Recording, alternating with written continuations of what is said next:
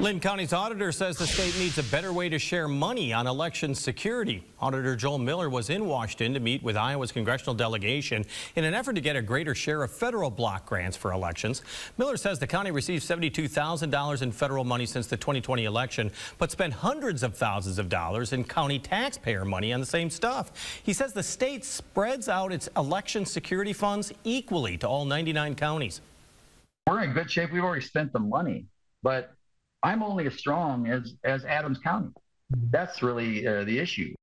Miller is also calling on Congress to continue providing $75 million in state election funding and wants that to increase in future years. Coming up.